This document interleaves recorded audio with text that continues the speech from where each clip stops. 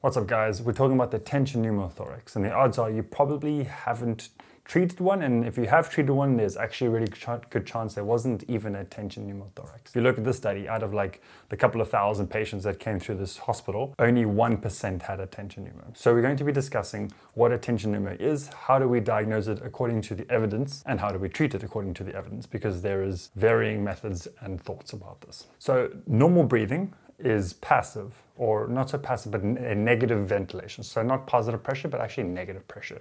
Because when we breathe in, our lungs expand, which then drop the pressure in our lungs, and then that then forces air to passively move into our lungs. So that is negative pressure ventilation. If we are ventilating a patient, we have positive pressure ventilation.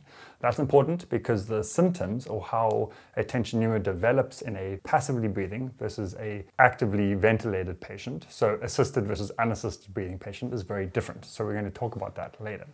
So the anatomy. The lung has got a space in between it. So there's the ribs and there's the actual lung, and this is your pleural space. So you have your visceral pleura, which is on the outside of the lung, which is attached to the ribs, and then you have your parietal pleura, which is then on the actual lung, which is then surrounding your blood vessels and nerves and your bronchi. A tension pneumo happens when the parietal side of this lung which looks like this, breaks or tears. So then air moves into the parietal. What that does is and then that then causes a pneumothorax. So pneumo is air and thorax is or chest, your thorax. So pneumothorax.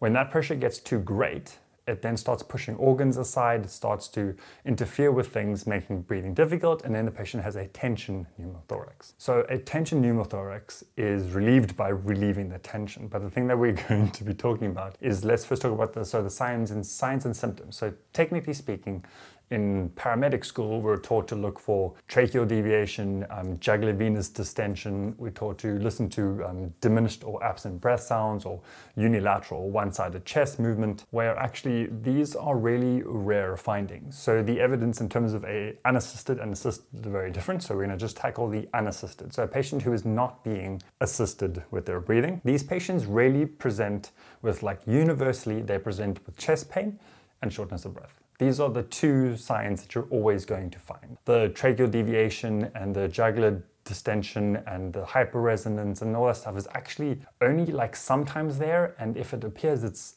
often very very late sign. Only very few patients are even going to have JVD or going to have a um, unilateral chest rise or have decreased air entry. Like these are unique findings. With a patient who has assisted ventilation, the universal findings are rapid decrease in saturation and hypotension. And then all the other things about like hyperresonance and all these other signs or JVD and tracheal deviation, they're just so late that they're not actually worthwhile looking at. If we've missed all these signs, we're going to wait for the patient to be in cardiorespiratory arrest and now we're trying to decompress a chest. So what are the landmarks? So you have the anterior one, which is your second intercostal mid-clavicular line above the third rib, or you have your fifth mid-axillar anterior so there have been studies on this and they're saying that our needles are actually not long enough. They've also done studies, if you check this out, that the lateral side has got more tissue and a longer distance to your pleural space than your anterior. I'll show you the study. I'll link it also below. And then what they've also said, so now we are getting bigger gauge needles. So a needle like this. So you can have a needle like this, and that is a 10 gauge needle, and it is eight centimeters long. That's really big. So we've now gone, okay, let's put in a bigger needle, which you have a higher likelihood of decompressing a chest. But the problem with a bigger needle is that you have a higher likelihood of hitting vital organs. So you might decompress, but you also might go straight through the aorta or the heart.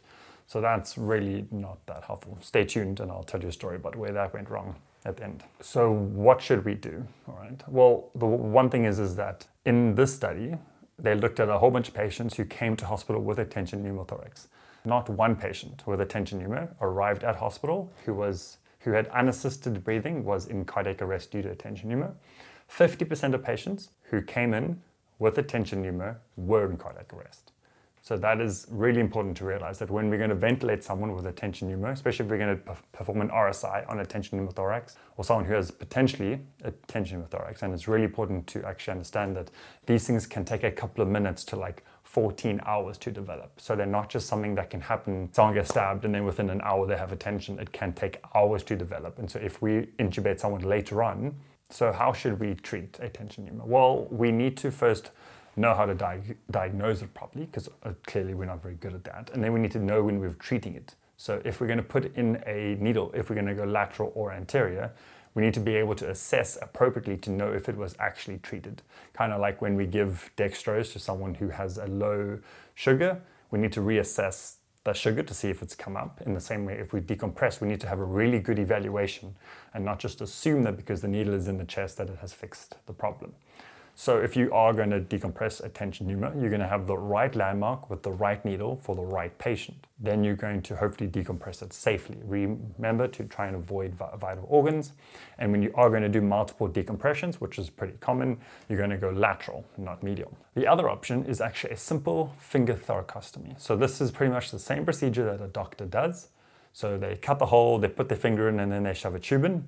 A simple finger thoracostomy is just we cut a hole, we put our finger in, and we touch the parietal pleura of the lung. So we touch lung with our fingers, therefore excluding a tension pneumo or treating a tension pneumo. And if they're retention, we just stick our finger back in. This has been proven to be safe and effective in the pre-hospital setting. So hopefully one day soon we'll be moving towards that. So about that story that I was going to tell you about, I was dispatched to a stabbing at a petrol station, and as I got there, there was a paramedic on scene about to do a second anterior chest decompression.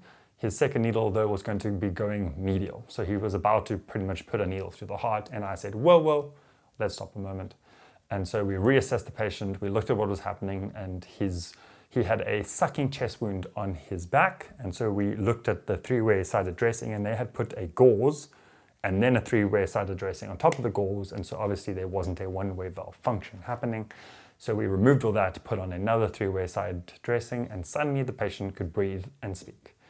So there you go. So he didn't actually have a tension pneumo. He didn't need a needle decompression. He actually just needed his sucking chest wound to be treated properly. So guys, if that was useful, please hit like and subscribe and share this with those who you think would benefit from it. So thank you for your time and I'll see you in the next video. Bye for now.